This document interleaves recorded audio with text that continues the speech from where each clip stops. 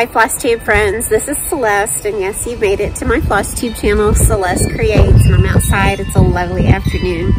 I just wanted to pop on here and say what you see following this video is a quick tutorial I filmed today about how I lace my cross stitch pieces. It has no words, um, just some video and some typed in word instructions. Um, but be assured this is not my only lacing tutorial that I will do. I do have plans soon to do another lacing tutorial with words and uh, more tips and tricks and instructions all the way through. Um, but I wanted to get this out to you today. I thought it would be fun to put this out there. It's a little bit shorter so you can watch it on repeat a couple of times without it being too long. But yes, coming up soon I will have another full lacing tutorial and um, anyway, in the meantime, I hope you enjoy this and uh, have fun. Bye.